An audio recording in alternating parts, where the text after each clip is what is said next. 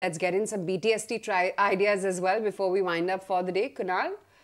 So I'll go with uh, one buy and one sell. The first one is about uh, REC Limited. That stock is uh, seeing a good bounce after almost a 20% correction from 520 to 420. So uh, reasonable bounce for the stock. Uh, would suggest a buy with a target of 508. Stop loss could be kept at 474. And second would be a sell on JK Cement. I think fifth or sixth consecutive day of uh, price correction to the stock. It's broken below a key short-term moving average. Uh, so would suggest a sell with a target of 4,050 and stop loss could be kept at 4280. Right. Niresh, what about your BTST ideas? So first is the one Apollo Hospitals, which has corrected 10% from the top and making a recovery trade today. Stop loss at 6150, target price of 6250. Second is the buy on Tech Mahindra, which is at a support level and uh, recovering from those levels. Stop loss at 1280, target price of 1320. Okay, let's uh, now begin winding up for the day. And for exactly that, I'm going to hand it over to Vinny to walk us through the closing trades. Absolutely. Today seems like Monday Blues has come in for the market because we started a bit on the positive note, managed to hit that intraday uh, highs, new highs for Nifty 50, but that was just at the opening. And since then, we've just seen a downward momentum, managing to close on only at the day's lowest point. That's the Nifty 50. 22,300 levels is what it's managing to grab onto.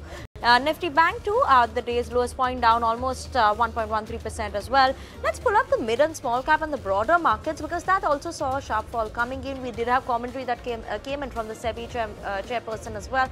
And because of that, we did see some bit of a pressure coming in on the Nifty mid and small cap, which was managing to hold on to some bit of a green uh, in the morning day as well as first half of the session as well. let's move on and talk about the advance decline ratio clearly today in the favor of declines versus advances as well. And which are the sectors that are falling in trade today. We have Nifty Media that is down and out. Uh, sharp fall that is seen in Nifty Media.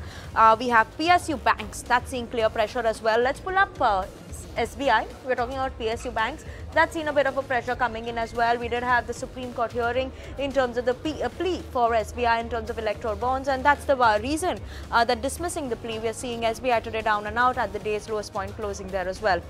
Nifty Metal, all those stocks in focus as well. We've seen Tata Steel uh, clearly under pressure as well today and we're keeping an eye out on uh, Tata Steel as well. Nifty Metal down almost 1.5% uh, as well. Uh, let's pull up the other Tata stocks. Let's pull up Tata Consumers. What's that doing? Because that was among the top Nifty 50 losers as well. So Tata Consumers also was under pressure. What is Tata Power doing as well? That's a one to watch out for as well.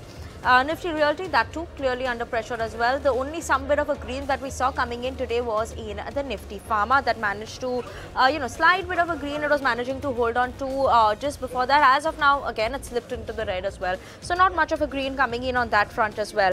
Let's talk about some of these stocks that have actually managed to uh, hit a 52-week high this time. Let's pull up uh, something like a Godfrey Philip. That's seen very, very strong gains today coming as well. So yes, in the mid uh, mid cap side, we're seeing Godfrey Phillips, KC International, uh, Solara Industries as well as Zydus Life which managed to hit a 52-week high, uh, life high.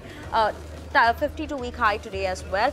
Um, other than that, I just want to highlight ITC as well. That saw a sharper fall coming in in the second half of the trading session as well.